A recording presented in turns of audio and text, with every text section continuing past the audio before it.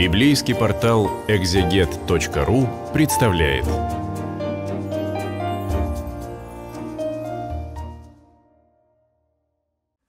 Пророк Иезекииль. Первая глава, я буду читать свой перевод, я Андрей Десницкий для библейского портала «Экзегет» с небольшими комментариями, но сегодня комментарии будут необычные, я скоро объясню почему. Надо в самом начале сказать немного о пророке Иезекииле, кто он такой, где он находится, об этом он прекрасно э, сам рассказывает в самом начале своей книги. Ну, вряд ли это он записал, да, но э, тот человек, который записывал его пророчество, за ним, наверное, постарался это точно зафиксировать. Он священник из Иерусалима. Но пророчествует он не в Иерусалиме, и вообще вся его книга, она связана с совсем другой местностью, с Вавилонией. В чем дело? В начале VI э, века город Иерусалим был взят вавилонинами, разрушен так же, как и храм в Иерусалиме, и значительная часть иудеев была переселена э, на другую территорию. Но, впрочем, это было даже не первое переселение. Иезекииль к этому моменту уже вместе с другими изгнанниками жил в Вавилонии. Эта практика была распространена у ассирийцев, потом вавилоняне ее переняли, ну, встречалась и в более новые времена. Э, чтобы завоеванный народ не восставал, его отправляли подальше от места его обитания. Там, где люди знают каждую тропку, каждый камешек, им легко, конечно, организовать сопротивление захватчикам. Если они оказываются в совершенно новой для себя местности, то все силы уходят на выживание, уже не до восстаний. Поэтому такие вещи делали с потенциально опасными народами. Вот в Вавилоне не так поступили с израильтянами еще даже до разрушения Иерусалима. Да? Первая партия а как раз вместе с царем э, Юахином и Иезекииль отправился туда, в Вавилонию, жил в месте, которое носит всем сегодня известное название Тель-Авив, но это совершенно не тот город, который э, на территории государства Израиль сегодня находится, а значит, это весенний холм. Ну, Авив — это один из весенних месяцев, да, апрельский, может быть, холм или там майский холм, календари все-таки не совсем совпадают. Ну и что же э, Вавилонский плен означает? Вот, скажем, пророк Исаия очень долго предупреждал о том, что если израильтяне не перестанут творить всякие безобразия, то э, их ждет катастрофа. Это и случилось. Катастрофа произошла. И, конечно, мы читаем в пророческих книгах у разных пророков о том, как э, можно было бы избежать этой катастрофы, изменив свое поведение. Мы читаем в той же книге Исаии, кстати, начиная с 40 главы, как возродиться заново жизнь э, в земле Израиля, отстроится Иерусалим, его храм. Но что в плену-то происходило? Вот об этом книга пророка Иезекииля. Представим себе израильтян, которые находятся далеко от родины. Все-таки Ветхий Завет очень привязан к земле. Ветхий Завет очень тесно связан с э, ритуальной стороной поклонения Богу. Конечно, Бог везде, об этом, наверное, никто не будет спорить, но, тем не менее, поклонение Богу только в Иерусалиме, только в храме. Это один из важнейших принципов той религии, которая была у израильтян. И вдруг это все уничтожено, это все разрушено. Они оказались не просто в Вавилонии, они оказались э, в полной духовной пустыне, на Северном полюсе, да, где ничего нет и ничего не может быть. Не то, что вот не построили пока храм, но сейчас построим, будем приносить жертвы, но нельзя его здесь строить. Во-первых, потому что вавилоняне не дадут, у них своя религия языческая, во-вторых, и в главных, потому что, собственно, запрещено э, какое-то другое место для поклонения, кроме Иерусалима. До Иерусалима не добраться, туда никто не отпустит. Значит, все, значит, ничего больше не будет, значит, израильтянам остается просто раствориться в окружающем мире, стать такими же, как все остальные, принять язычество, но, может быть, даже не принимать его, а хранить некую такую абстрактную, тайную верность э, своему Богу, но она не будет выражаться ни в каких внешних действиях. Как жить в плену? Вот э, как описывает эта книга Иезекииля. Начинаем с первой главы. Это было в 30-й год. 30-й э, год, начиная с э, как раз первого переселения, то есть 593 год до нашей эры. Иерусалим еще стоит, он еще не разрушен, хотя очень скоро, всего через несколько лет, будет разрушен полностью. На пятый день четвертого месяца, очень все точно датировано, но календарь немножко другой, поэтому нам трудно это перенести на какие-то даты э, современные, ну ведь э, месяцы, погоду, они так могут сдвигаться, да, и из какого месяца начинать отсчет, тоже не всегда ясно. На пятый день четвертого месяца, когда я был среди переселенцев у потока Кивар, открылись небеса и явились мне видения Божии. На пятый день пленения царя Иоахина в пятый день месяца было слово Господне к священнику Иезекиилю, сына Бузи, который тогда был в стране халдеев у потока Кивар, и была на нем рука Господня. Храма нет, и не будет скоро. И вообще неизвестно, будет ли. Мы сегодня знаем, что будет, но тогда они не знали. Э, храм еще не разрушен в Иерусалиме, но до него уже не добраться. И мы далеко от него, и вообще вот далеко от Бога. Открылись небеса, явились мне видение Божие. Оказывается, там это тоже может быть. Дальше описание. Э, вот вы знаете, я его прочитаю целиком и не буду комментировать по отдельности, потому что Э, комментировать это по отдельности абсолютно невозможно. И когда я прочитаю, вы поймете почему. Видел я, как с севера налетел могучий ветер с огромной тучей и сверкающими молниями, а вокруг него сияние, а в середине его сверкало нечто вроде янтаря.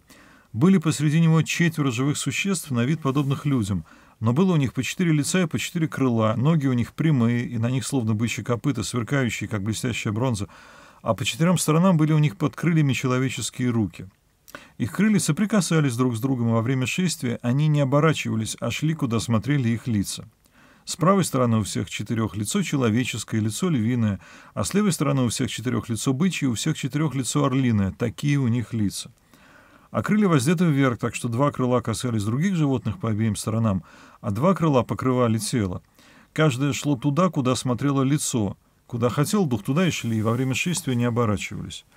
Эти существа были подобны раскаленным углям и горящим факелам. Между существами пробегало пламя, от него исходило сияние, и молнии били из огня. И сами эти существа с быстротой молнии перемещались туда и сюда.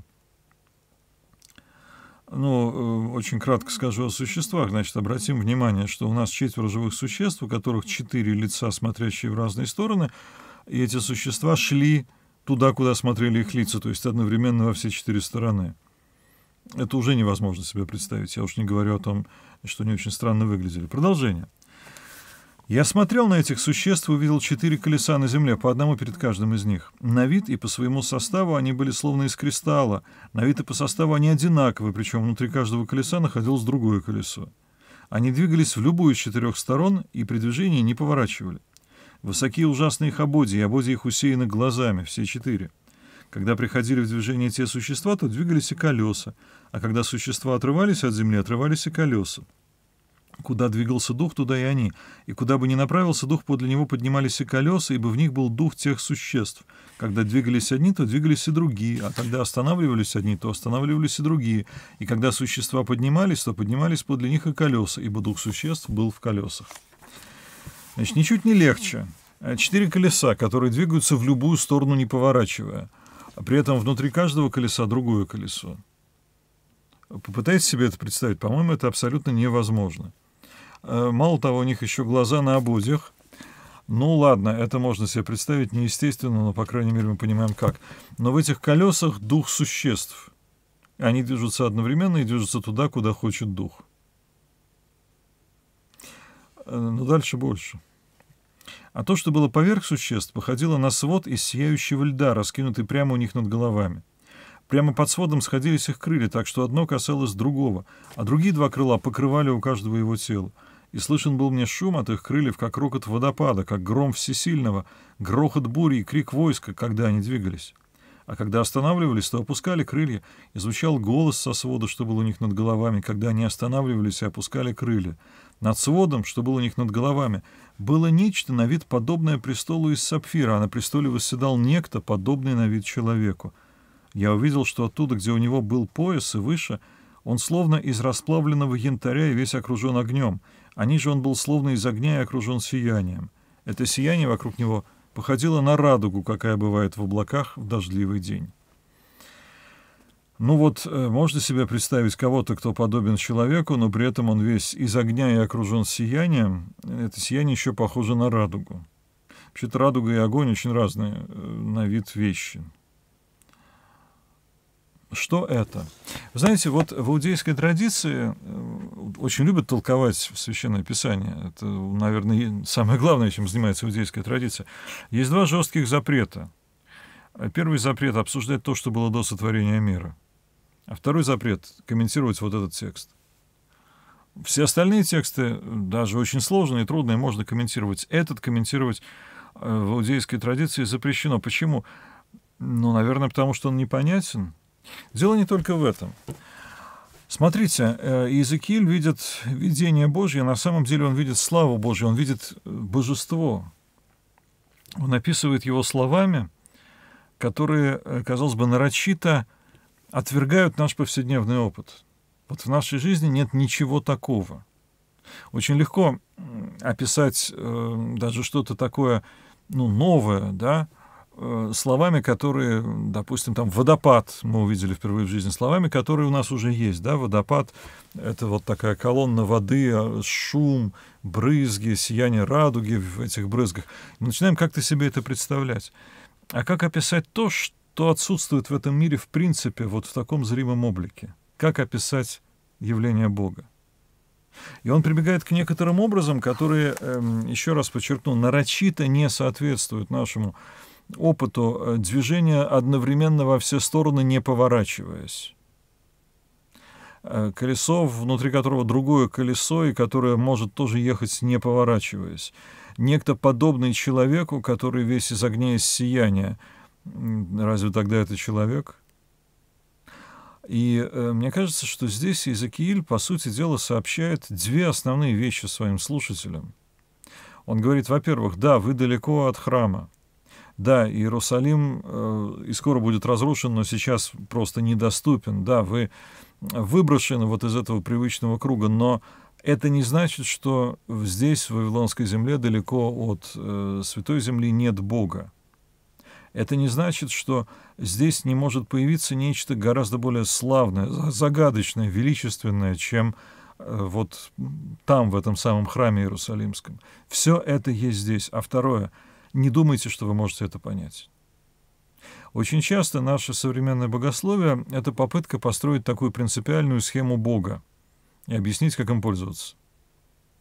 Как можно пользоваться вот этим существом? Как можно объяснить вот эту колесницу? Сам образ колесницы, э, ну, понятно, мы э, представляем себе, с одной стороны, движение, с другой стороны, величие, да, то есть это какое-то шествие царя. А в колесницу обычно впрягают лошадей, лучших лошадей. Э, с колесницей связаны какие-то вот стражники, которые сопровождают эту колесницу. Так и здесь животные, которые сопровождают. И э, вроде бы вот на уровне символическом образом мы кое-что начинаем понимать, что Бог — это царь, который является там, где он захочет. Но одновременно мы понимаем, что мы абсолютно ничего про него не знаем. Я приведу цитату из современной российской писательницы Людмилы Улицкой. «Люди не понимают, как устроено электричество, но думают, что знают, как устроен Бог». Действительно, такое периодически происходит. И вот э, первая глава Иезекииля, мне кажется, ясное свидетельство того, что мы этого не понимаем. Но значит ли это, что Бог э, там где-то очень далеко, высоко, неизъясним, неизречен, непонятен, не, неведом нам, и ну, ну, ну и все там, да, вот есть галактика какая-нибудь далекая, ну, ну есть она нам что? Нет, э, Бог входит в их жизнь вот здесь и сейчас в самое неожиданное время в самом неподходящем, казалось бы, для этого месте, и э, Бог — это движение. Мы легко, наверное, можем представить себе какую-то вот статичную такую фигуру, да, тоже в символичности Ветхозаветного храма это было, ну, э, ковчег Завета, который понимается как престол Божий, на котором э, символически, конечно, восседает Господь. И да, это царский престол, вот он на царском престоле сидит. Это представить себе, в общем-то, нетрудно, правда? Но как представить себе Бога, который движется одновременно во все стороны, а как он слышит все молитвы одновременно? Меня в детстве этот вопрос занимал. Значит, он к одному человеку прислушивается, так он другого не услышит в это время. А, но э, почему бы ему не остановиться где-то? А вот он такой, он э, одновременно движется во все стороны, и эти животные, которые сопровождают его, они, э, дух их в колесах, они вместе с колесами движутся. И не сказано колеса за животными или животные за колесами, все вместе. Вот это явление славы Господней, оно в каком-то смысле показывает, что э, Бог — это движение, что это некое не изменение, не то, что Он постоянно меняется, но это состояние, которое невозможно схватить и зафиксировать. Да? Вот, вот здесь и сейчас. Можно приводить огромное количество разных э, современных параллелей там из области физики. Я не физик, поэтому я не буду пытаться этого делать, будет звучать смешно когда говорят там, что электрон, волна и частица одновременно, что невозможно определить его местоположение в конкретный элемент, момент времени, что вот можно лишь говорить о вероятности его нахождения. В каком-то смысле это движение сразу во все стороны, да? в каком-то смысле это вот такое существо, у которого э, четыре лица и все лица в разные стороны. И, конечно, можно обратить внимание, что э, символика этого видения колесницы — она э, вошла и э, в христианскую символику, откуда у нас взялись четыре символа евангелистов. А вот отсюда, смотрите, лицо человеческое, лицо львиное, лицо бычье лицо орлиное. Вот э, именно так изображают не евангелистов, конечно, они все-таки люди все четыре, но э, неких таких ангелоподобных существ, с которыми связывают евангелистов. Да? Э, это бык или телец, это э, орел, это лев и это человек. С другой стороны, понятно, что э, эти символы это не просто некоторые произвольно выбранные животные, ну пусть даже красивые животные, благородные животные, да, но э, здесь есть вот какой-то такой э, тоже не очень явный смысл, э, что, с одной стороны, есть в этом начало человеческое, да, то есть человеческое лицо тоже есть, а с другой стороны, какое-то общеприродное. И вот Э, смотрите, лев — это хищник, э, вол или телец — это травоядное животное, орел — это птица, правда, тоже хищная.